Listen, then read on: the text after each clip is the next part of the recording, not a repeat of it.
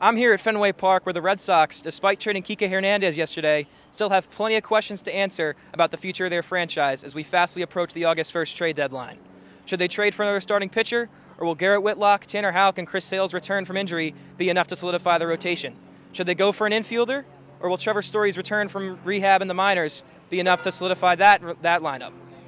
All these questions and more are things that Chaim Bloom has to be pondering in the front office as the August 1st trade deadline comes closer and closer into view. From Fenway Park, reporting live, Ryan Croak, Sports Broadcasting Camp.